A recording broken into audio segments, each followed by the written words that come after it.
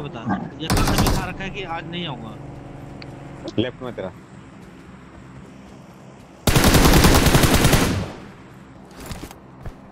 अरे! आओ बांडी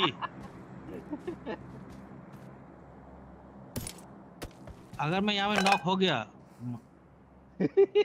भाई मेरा हेल्थ देख। दिवाकर बहुत गाली देने वाला था।